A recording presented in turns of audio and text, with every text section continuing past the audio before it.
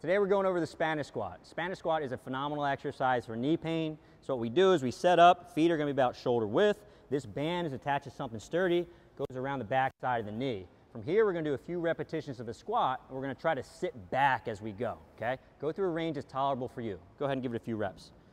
What's really nice about this exercise, and the reason why it's friendly for knees, is because when we sit back, we're able to sit back against the band somewhat, which causes a posterior translation of the knee. So thinking about going hips back in the squat, reducing some of that stress.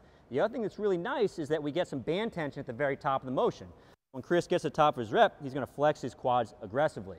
So this gives more stress at terminal knee extension, which is generally very well tolerated, okay? The last piece we can do is we can add a little bit of a weight. So we throw this weight right here and get a couple reps. Now we get a lot more load to the quads, and then this is going to be a phenomenal exercise to A, get a training effect and folks have knee pain, and help folks get out of pain too.